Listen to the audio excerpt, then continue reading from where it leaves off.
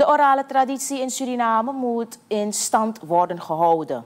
Master storyteller Paul Middeleen zegt dat we het moeten hebben van de iets oudere mensen in de gemeenschap.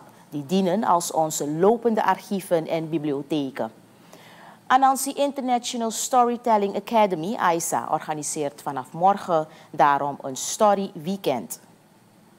Alle, alle drie activiteiten haken in op elkaar. Ze zijn dus belangrijk voor iedereen.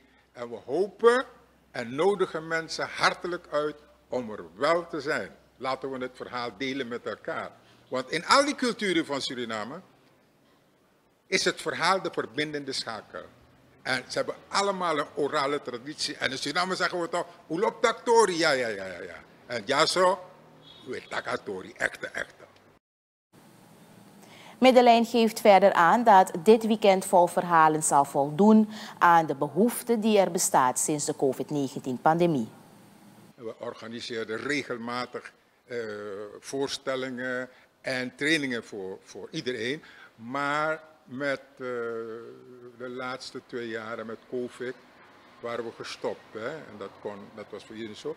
En toen uh, zijn wij overgegaan tot online eh, vertellen en trainingen geven. Maar nu is weer de kans, van de protocollen zijn allemaal weer normaal. Dus nu is de kans waarop we weer aan de slag kunnen gaan met het vertellen van verhalen. Echt live.